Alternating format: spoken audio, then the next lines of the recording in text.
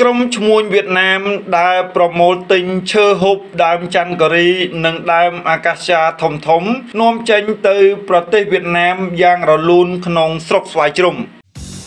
ហ្វាហ្វា178 មានក្រុមឈ្មួញជនជាតិវៀតណាមដែលប្រមូលទិញឈើហូបដើមច័ន្ទគិរីនិងដើមអាកាសយ៉ាធំធំនាំចេញទៅប្រទេសវៀតណាមយ៉ាងរលូនដោយមិនឃើញមានសមត្ថកិច្ចណាមករំខានឡើយបើតាមសមត្ថកិច្ចម្នាក់សូមមិនបញ្ចេញឈ្មោះបានប្រាប់ដាសាព័ត៌មានយើងឲ្យដឹងថាករណីឈ្មួញវៀតណាមដែលប្រមូលទិញឈើដូចជាច័ន្ទគិរី និងដើមអាកាសយ៉ាធំធំ ពីប្រជាពលរដ្ឋតាមបណ្ដាស្រុកនិងខេត្តនានាមកទម្លាក់សាងរថយន្តនៅចំណុចភូមិឫស្សីព្រៃឃុំកំពង់ចម្លងស្រុកស្វាយជ្រុំគឺច្រើនជើងមកហើយក្នុងខែមីនានេះតាមប្រភពបានបន្តថា នៅវេលាម៉ោង5ទៀបភ្លឺថ្ងៃទី28ខែមីនាឆ្នាំ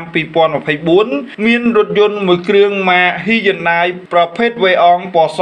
ពាក់ស្លាកលេខកំពង់ចាម បានដឹកឈើហូបដើមច័ន្ទគិរីមកកាត់2ម៉ែត្រ1ម៉ែត្រកន្លះជាច្រើនកំណាត់ មានប្រវែង2ម៉ែត្រ4ម៉ែត្រនិងកាត់ជាដុំកម្រាស់ពីទឹកមកទម្លាក់ទុកនៅក្នុងភូមិឫស្សីព្រៃដោយមានម្ចាស់ឈ្មោះលឹមភេទប្រុសអាយុ44ឆ្នាំជនជាតិវៀតណាមមានទីលំនៅខេត្តឡុងអាន ប្រទេសវៀតណាម ក្រោយពីមានសមត្ថកិច្ចសាកសួរនិងមានអ្នកសារព័ត៌មានមកសម្ភាសឡាយរួចនៅវេលាម៉ោង4ល្ងាចក៏យករថយន្តស្ទូចមកស្ទូចដាក់លើរថយន្តធុនធំ ចំនួន2គ្រឿងដឹកចេញទៅប្រទេសវៀតណាមនៅវេលាម៉ោង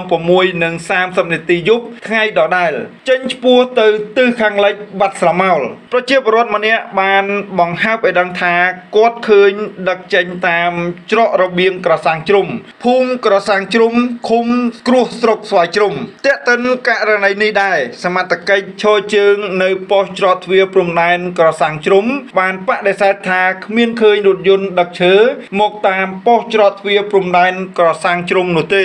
បើមានក៏មិនអនុញ្ញាតឲ្យនាំឈើចេញដែរទោះបីឈើក្នុងស្រុកដើមអាកាសយ៉ាឬដើមច័ន្ទកូរីក៏ដោយ ចំណែកមហាជនដាក់ជាចម្ងល់ថា បើមិនដឹកឆ្លងដែនទៅប្រទេសវៀតណាមតាមផ្លូវគោកតើគេដឹកទៅតាមផ្លូវណា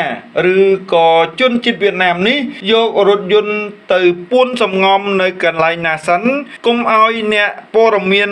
តាមប្រមាញ់មហាជនបានលើកឡើងទៀតថាចុះប្រមាណជើងមុន គេដឹកឆ្លងដែនតាមណា បានជាបាត់ឈឹងប្រហែលចេះបំបាំងកាយហើយមើលទៅហ្វាហ្វា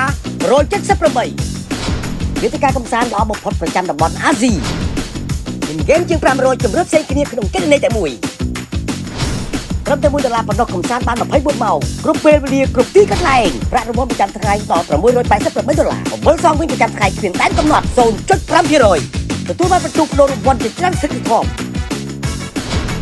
អ្វីទាំងអស់នេះបានជូន Fafa 178ប៉ុណ្ណោះ Fafa 178